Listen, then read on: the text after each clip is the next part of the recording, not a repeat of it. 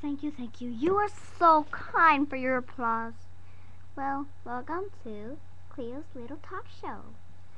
I'm going to give you tips about myself today. Me.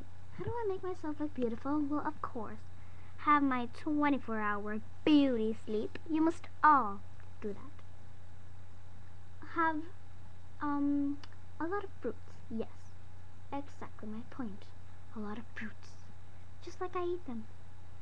Gorgon feeds them to me. That is so cute. I love fruits, especially grapes, of course. So, you want to look beautiful like me? Just look at my face. Add a little eyelash over your eyes, just like mine. Mine is purple. Your lips. Your lips. You have to find the lip color, the lipstick that matches your skin. Once you find it, you'll be the perfect girl. Of course, you have to dress beautiful. Beautifully beautiful. Okay? And your shoes always count.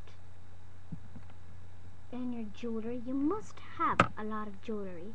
Your hair must be impeccable, so must your face. And what you must wear. Well, look at that. We're out of time. So that's to um so that is my two minute talk show. We'll be talking about other stuff later.